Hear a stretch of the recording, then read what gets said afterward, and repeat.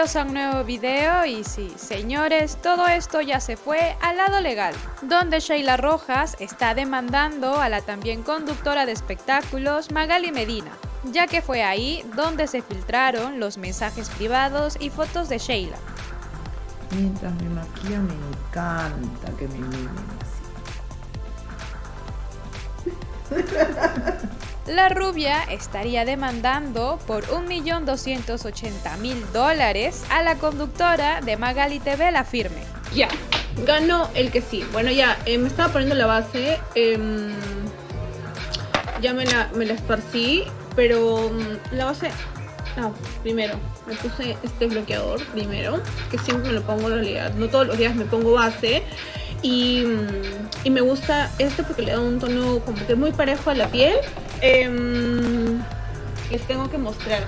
Estos son los, los rubores que me encantan. A lo que dice la carta sería han pisoteado mis derechos como persona consagrados en el Código Civil. Publicaciones de televisión a nivel nacional e internet. No dudaron en mancillar mi honra solo con el pretexto de tener más rating. Usted ha puesto en tela de juicio mi honor, vulnerando el respeto a mi dignidad como persona, violando normas del orden público. Ha dañado mi imagen, mi reputación, mi ámbito público, privado, social y laboral, afectando mis derechos como persona mujer, madre e hija trabajadora, y bueno, mucho más. Pero bueno, señores, sin duda Sheila está pasando por un momento complicado, ya que hasta ha perdido su trabajo, y mediante todo lo que está pasando, hasta su expareja y padre de su hijo Antoñito, Antonio Pavón, estaría pidiendo la custodia legal y completa del hijo de ambos. Esperemos que todo esto se solucione pronto por ambas partes.